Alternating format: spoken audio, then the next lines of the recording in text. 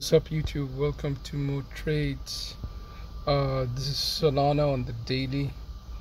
We are in a very interesting point. We are at a very interesting point for Solana. Let me show you why.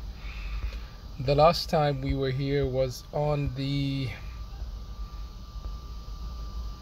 uh, 20th of January last year. So a year ago, uh, just almost to the day, 20th of January 2022, we were here and uh, we continued falling. What was here? This was the 200 simple moving average as you see in blue. And uh, we haven't tested it for one whole year. It will be interesting how Solana acts uh, when we get there. Uh, doesn't mean we're gonna get rejected but whenever we are above it that's good. And when as you can see ever since uh, April 21 we've been above, above it throughout till we broke down here. So now can it go above it. If it can that'll be a bullish sign for Solana. We are at the 0.618 getting rejected. A retracement from this high of November FTX dump. Uh, we retraced 61.8 percent. And the 200 simple moving average is around 27.332 so can we get there and get above it? If we do then that would be very bullish uh, for Solana.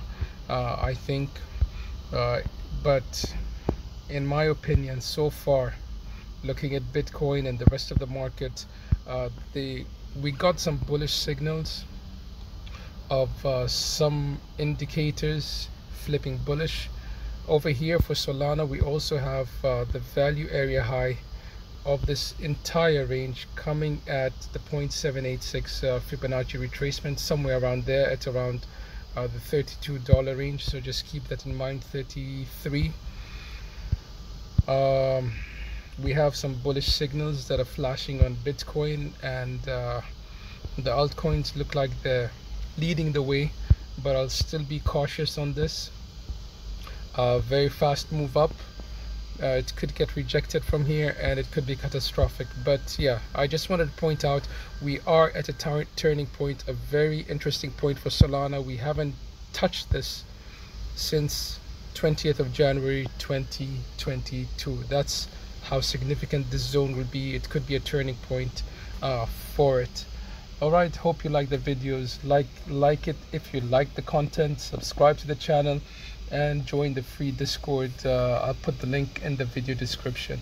And you can find it also in the channel description. Mo Trades i'm out